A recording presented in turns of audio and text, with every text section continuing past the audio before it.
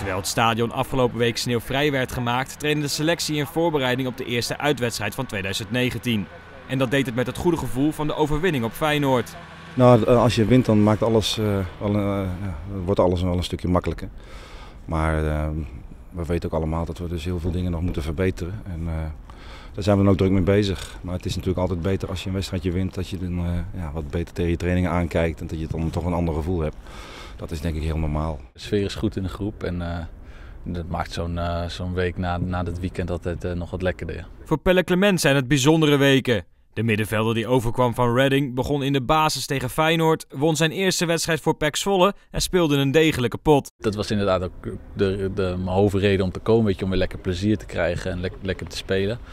Uh, en dat dat dan allemaal zo op zo'n avond mee uh, samenvalt, dat, was extra mooi ja. En ook nog tegen Feyenoord. Ja, je hebt het zelf kunnen zien, het was gewoon een hele leuke wedstrijd om te zien ook. En iedereen was er voor elkaar. En dat creëert een nog prettige sfeer in de groep. En voor mij persoonlijk was het gewoon heel, heel leuk, heel plezierig om, om te spelen. Ja. Ja, bevestigen deze, deze weken die, die je hier nu bent ook het gevoel wat je vooraf al had bij PEC?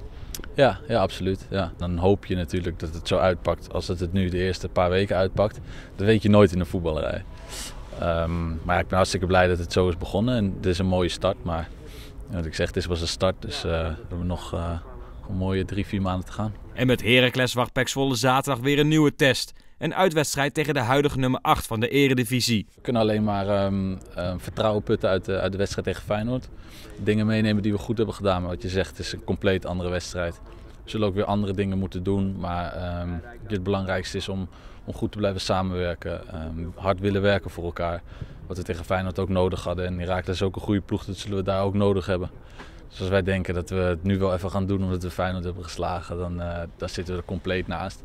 En ik denk dat dat, dat dat besef er ook wel in de groep is. Dus iedereen zal gewoon weer vol gas moeten gaan morgen.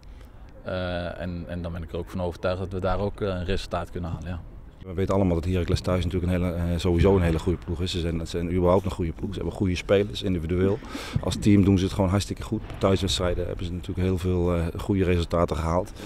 Uitwedstrijden ligt dat, ligt dat wat anders, maar ik denk dat het bij heel veel ploegen, uh, ploegen zo is. Ja, en, en ik, wij, ik ga er niet van uit dat wij ons moeten gaan meten met andere ploegen om te kijken van hoe ver we zijn. Ik denk dat wij naar onszelf moeten gaan kijken, naar, naar hoe wij erop staan, wat wij allemaal gedaan hebben. En, en dus, dus van wedstrijd naar wedstrijd gaan, gaan leven ook om, om uiteindelijk mogelijk punten te pakken. Waar verwacht je dat jullie kansen liggen? Um, vooral gewoon weer uh, in, het, in, het, voetballen. Tactisch ook, denk ik. Um, Heracles wil, wil zeker thuis vooral veel vooruit druk zetten. En het is aan ons om daar de eerste twee, drie passes goed onderuit te spelen.